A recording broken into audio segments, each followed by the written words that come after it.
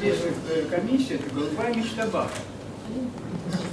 Голубая мечта. Меня не интересует его мечта. Нет, я понимаю. Он когда хотел создать комиссию, это комиссию с совершенно разными функциями.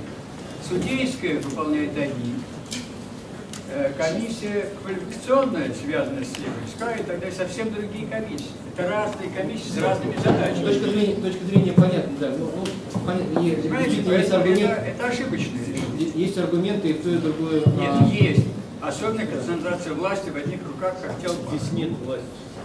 Это разные функциональные комиссии. О Я какой власти, о какой власти вы говорите? Абсолютно. Да?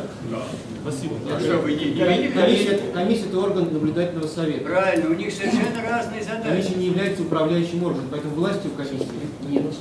Вы понимаете, на каком языке я говорю? На русском. Есть судейская комиссия. Она является тоже рекомендательным органом. Правильно, но не одни задачи, а квалификационные совсем другие Знаете, задачи. в ко- комиссии, например, в детско-юношеской комиссии тоже есть очень много разных задач. А Есть, может, может, может быть, разделим, будет детская комиссия и юношеская комиссия. Зачем мы их Я серьезный человек. Я тоже серьезный человек, потому что... Я в квалификационной комиссии был больше, чем вам лет. Отлично. Прекрасный председатель. Полковецким, там другие задачи. И объединять эти комиссии нельзя. Я не рвусь. Понятно. Нельзя объединить. Кроме того, я э, оставляю за собой право выступить по поводу ЕВСК. То, что там сделано, Ну, чего?